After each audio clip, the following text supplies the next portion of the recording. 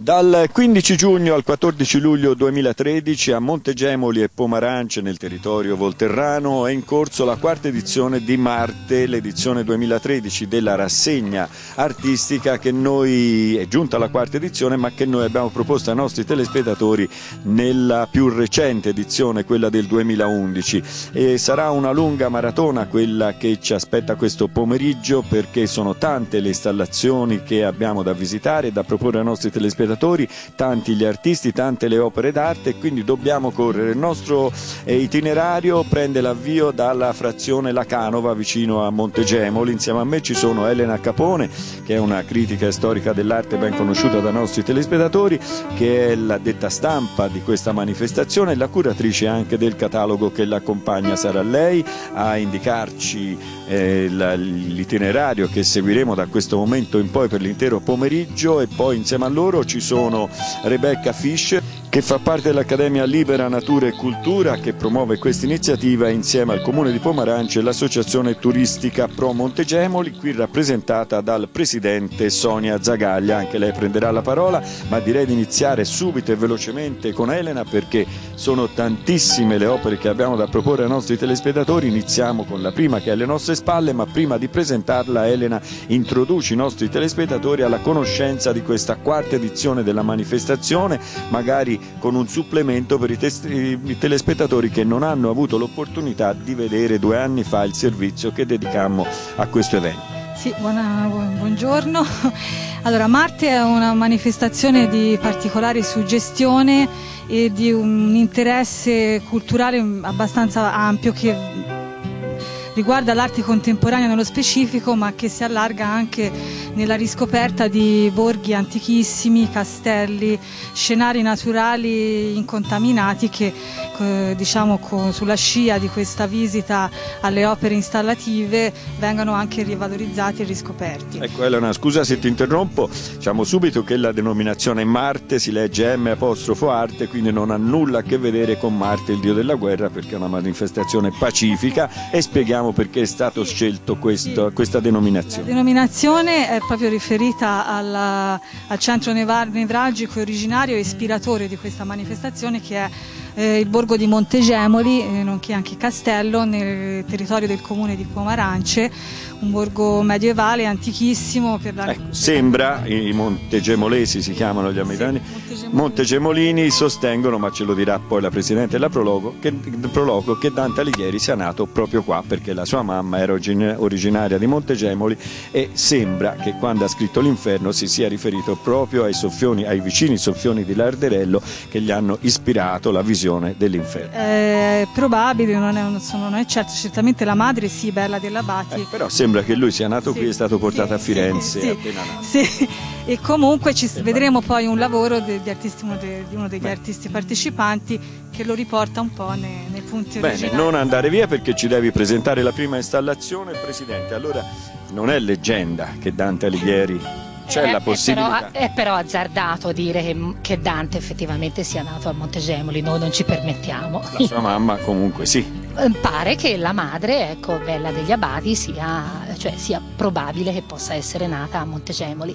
Comunque, ecco, Mon Marte, Montegemoli Arte, nasce proprio nel 2007 come appunto una rassegna di arte contemporanea con installazioni, di, eh, installazioni e sculture, una manifestazione che negli anni diciamo, è andata veramente in crescendo. Inizialmente infatti le installazioni erano limitate al, al borgo antico e poi invece si sono allargate alla campagna circostante e ad alcuni territori della, della Val di Cecina, particolarmente quest'anno nel comune proprio nel Pomarancio, il nostro, il nostro capoluogo. Comunque ecco Marte ha contribuito in questi anni e contribuisce senz'altro ad una valorizzazione e visibilità del nostro territorio e delle sue risorse. Queste sono anche le finalità stesse dell'associazione turistica che appunto si propone di valorizzare e di mettere così ecco in luce antichi tesori e, e quant'altro, ecco, riscoprendo proprio delle eh, particolarità che sono proprie eh, del nostro territorio. Io vorrei ricordare anche che Montegemoli è una delle capitali italiane del pane. Eh sì, il pane veramente è un, è un alimento che qui un fiore all'occhiello, lo vediamo proprio anche da questa, da questa località, il forno proprio immerso nella, nella nostra campagna. Ecco, io dicevo, mh, direi che come Presidente ecco, mi sento veramente in dovere di fare un ringraziamento particolare a tutti coloro che quest'anno hanno reso possibile eh, questa manifestazione, da coloro che hanno concesso gli spazi per le installazioni, agli sponsor, agli aiuti proprio eh, dati agli artisti per le loro installazioni. E comunque ecco anche eh, gli sponsor che sono stati veramente tanti e particolarmente particolarmente un ringraziamento all'amministrazione comunale di Pomarance che veramente in questi anni ci ha sempre supportato, eh, in particolar modo ecco, nella persona dell'assessore alla cultura Billy Cerri e, e quindi ecco, quello che ci eh, poniamo e che ci auguriamo è proprio di poter continuare in questo cammino, quindi un cammino che veramente ecco, ci offre la possibilità di un incontro speciale proprio ecco, guardando il nostro nostro territorio e le nostre risorse un incontro speciale dell'arte con la quotidianità. Quindi, con la sarà uno, un invito a visitare il territorio, soprattutto nelle località meno attraversate dalle strade di grande comunicazione, perché qui transitano molti toscani dell'entroterra che, che vanno verso il mare, verso Cecina, verso la costa livornese, ma anche tantissimi turisti attratti dalle bellezze di Volterra e del suo territorio. Rebecca, quando e come e perché è nata la vostra associazione? Questa parte di Elena a spiegare tutto questo. Io ehm, diciamo, faccio parte dell'organizzazione eh, assieme a Ursula Fetter come Accademia Libera Natura e Cultura e insieme all'organizzazione c'è Marlene Mon e Oreste Klamer. E... Tutti cognomi evidentemente non eh, toscani ma nemmeno italiani. Sì, io sono in Italia da 40 anni. Siete toscanizzati, un sì, nucleo di mm, tedeschi. Italianizzato, sono svizzera comunque ah, di origine. Vabbè probabilmente ecco. svizzera tedesca. E comunque qui è un bel luogo, bellissimo per anche svolgere questa allora, attività. Noi dobbiamo essere frettolosi nelle interviste perché sono tantissimi luoghi da visitare, tantissimi gli artisti da presentare, alle nostre spalle avete visto campeggiare fino a questo momento nel corso delle tre interviste la prima installazione che la stessa Elena presenterà ai nostri telespettatori. Sergio Mazzanti, artista professionista di Carrara, che presenta una suggestiva installazione ispirata alla teoria del caos e ai sistemi complessi come metafora della società contemporanea. La seconda tappa ci porta a ridosso delle mura del borgo medievale di Montegemoli che vedete alle nostre spalle, in particolare la torre, ai piedi del borgo sì, abbiamo la scultura eh, ambientale di Mauro Stefanini, scultore salinese, ispirata direttamente a Dante Alighieri, il cui profilo è riportato proprio in reciprocità con il profilo de, del castello alle spalle. E questa scultura che ha un po' l'impatto del teatro ha anche un retroscena completamente diverso dal fronte, interessante da scoprire.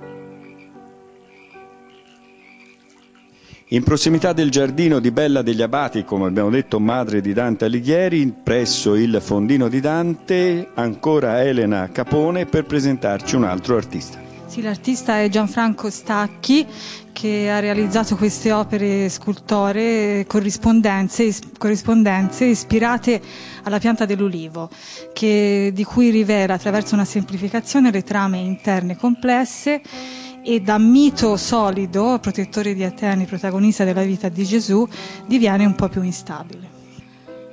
Ci troviamo nelle logge del borgo dove si apre l'intervento del maestro volterrano Ennio Furiesi e della fotografa tedesca eh, Rita Dolman dedicata al martirio di San Giovanni Battista. Essendo presenti entrambi gli artisti saranno loro a presentare purtroppo sommariamente i loro lavori. Eh, l'opera è nata da un progetto comune con, con Rita e con me. Ho cominciato a lavorare su questo martirio che è il martirio di tutti i tempi, che lo descrive benissimo Elena nella presentazione al catalogo.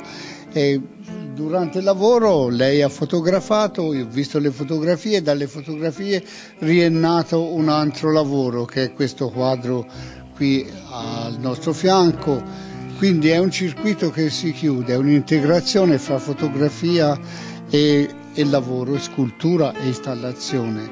Queste fotografie possono avere il significato corale di una corale che sta guardando questo dramma che sta succedendo molto belle, se ci siamo rifatti, si è rifatta in particolar modo Rita alla scultura alle Apuane, come vedete sembra un marmo, un bassorilievo nel marmo. In apertura di servizio la Presidente della Proloco ci ha ricordato come Montegemoli sia una delle capitali italiane della panificazione. Noi ci troviamo ora all'interno dell'antico forno di Montegemoli dove per tanti anni, ma direi per qualche secolo, è uscito questo famosissimo pane. Da oggi invece ci sono delle opere d'arte. Sì, perché il sito è particolarmente suggestivo, sono stanze completamente abbandonate da molti anni e che hanno ispirato tre interventi eh, particolarmente corrosivi della rassegna, quello di Luigi Giulio, di Enrico Pantani e di Ergal Bertel. Qui alle nostre spalle abbiamo l'intervento tempo presente indicativo di Luigi Giulio che è un po' un riassunto, io l'ho definita la morgue lirica, poetica, della fine del consumismo nell'epoca contemporanea, di cui restano solo espressioni di rabbia, sgomento e impotenza. Sì, questo è un altro sito molto suggestivo e siamo all'interno dell'intervento di Enrico Pantani, artista giovane di Pomarance, improntato un po' alla Beat Generation e che si esprime con un linguaggio infantile ma di efficacia sintesi espressionista. Il titolo è Tonto ebete senza via di scampo e è una sorta di umanesimo arrovesciato nel senso che è l'uomo al centro del mondo ma l'uomo impotente, incapace di affrontare le difficoltà del quotidiano. Concludiamo il percorso all'interno dell'antico forno con l'intervento di Edgar Werther, Wonderland, la libertà e il popolo che è una critica molto radicale ai fondamentalismi eh, in generale che distruggono identità, vite e violano l'infanzia, eh, rappresentata attraverso un assemblaggio d'autore di objet, objet trouvé, ready made, insomma cose trovate in disuso. Adesso siamo in piazza del Casalino del Borgo e siamo all'entrata delle due sale che si aprono sulla piazza la, della, la sala pardon, della Proloco e quella di Accademia Libera Natura e Cultura dove trovano spazio i due interventi, eh, uno eh, di tre autori molto giovani di Cecina, Tu Zero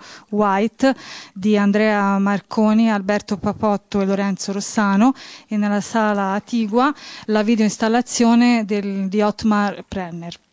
Allora, prima di lasciare questo spazio eh, presentiamo, introduciamo anche i Wubo Book, che sono le piccole invenzioni ideate dai, tuoi, dai due autori volterrani, eh, Alessandro eh, Togori e Susanna Manghetti, eh, e che sono dei piccoli libretti che si aprono come un teatro, eh, che vengono consegnati all'artista a tiratura limitatissima, su cui l'artista interviene eh, in varie forme e che sono delle vere e proprie eh, invenzioni e, e, opere d'arte geniali, perché nel, nel piccolo no, sta l'infinitamente grande. Siamo nello stretto vicolo che collega la piazza della Chiesa alla piazza del Casalino di Montegemoli e qui eh, troviamo l'installazione Teti e le Nereidi di Silvana Pincolini eh, ispirata alla tradizione marina che dialoga attraverso il vento con la tradizione dell'entroterra. Eh, essendo l'artista qui presente le lasciamo la parola e ci descrive l'opera. Beh, è sempre difficile parlare del proprio lavoro, eh, questi sono, eh, li sto interpretando adesso, insomma, sono dei, dei, bozzoli, dei cocoon, eh, degli embrioni eh, portati dal, dal, dal vento che, che, spira dal mare, che è sempre presente in questo vicolo.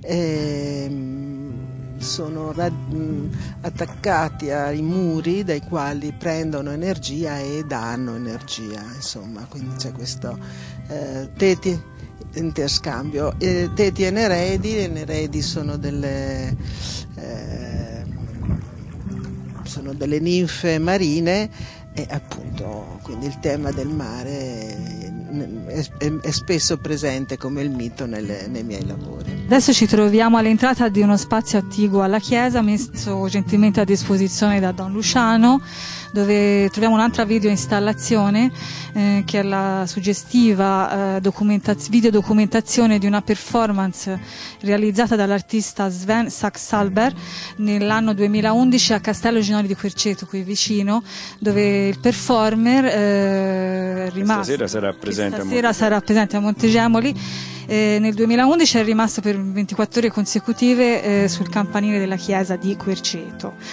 Eh, e questa sera presenta un'altra performance che ha realizzato in questi ultimi giorni eh, sul territorio e comunque è un artista che lavora sulla linea di confine fra soggetto e oggetto, fra soggetto e scultura. Ci troviamo sulla terrazza della chiesa del Borgo, affacciata sulle vertigini dell'Alta Val di Cecina, dove è possibile esperire la vista dell'intervento di forte land art di Luca Serasini, realizzato in collaborazione con eh, Massimo Giannoni artista di Marina di Pisa che è qui oggi ad illustrarci Costellazione Toro. Buonasera, eh, Costellazione Toro è l'ultimo eh, capitolo, penso, del, del, del, mio intervento che riguarda i tori che dipingo da tanti anni. Già due anni fa feci tori terrestri che erano 11 forme in cartapesta di, di tori e adesso quest'anno, già da un paio di anni, diciamo, porto tori tra le costellazioni.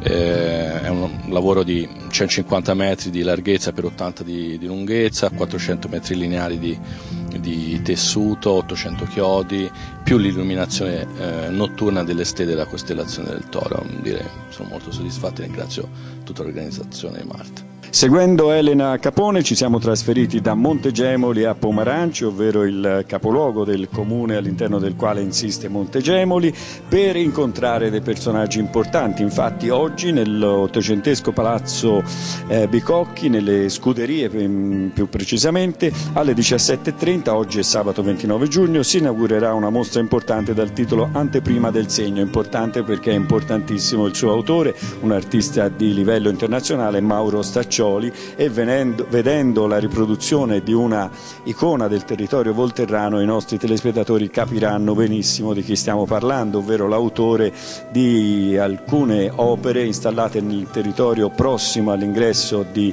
Volterra che ne sono diventate l'icona. Certo, io